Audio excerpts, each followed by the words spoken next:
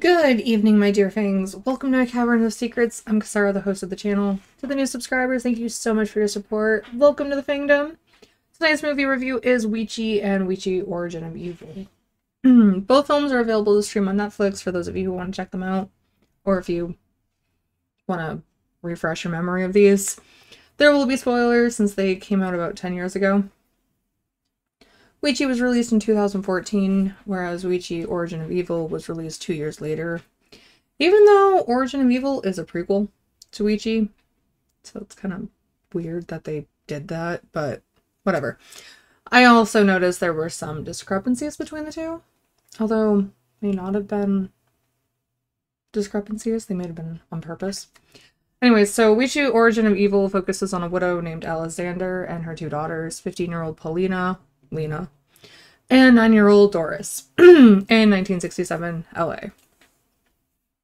Alice works out of their suburban home as a spiritual medium, and her daughter is a sister with her scam because, yeah, she's rigged things to make it believable. Lena and her friends use a Ouija board, which is what causes Alice to incorporate it into her readings.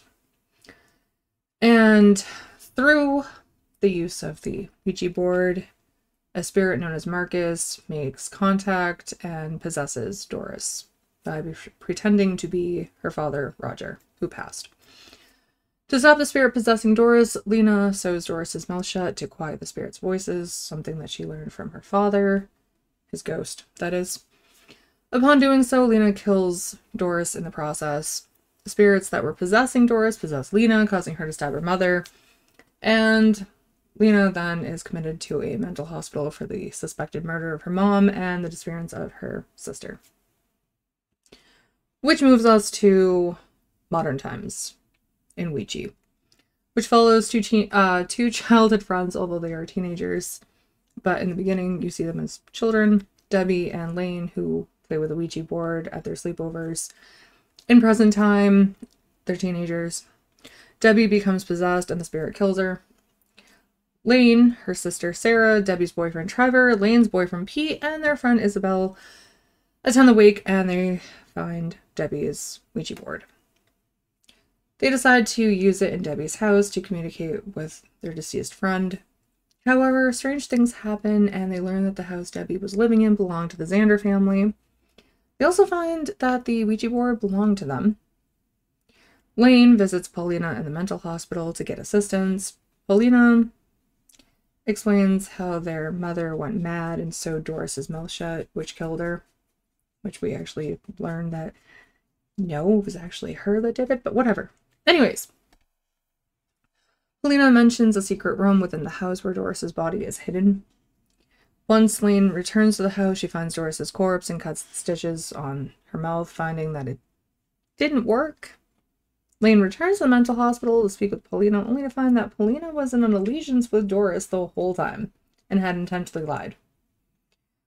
Lane's grandmother advises the remaining friends and Lane to destroy Doris's body and the Ouija board. Lane, with the help of Debbie's spirit, defeats Doris by throwing Doris's body into the furnace with the Ouija board. And that's it. The issue I found, like I stated, was that Alice wasn't the one who sewed Doris's mouth shut, but Lena. Which could have been why Lena was working with Doris, because she was terrified of her sister. I mean, that's possible that that really wasn't a discrepancy, but intentional. I don't know though. I was also slightly disappointed in how they didn't include other rules with the board.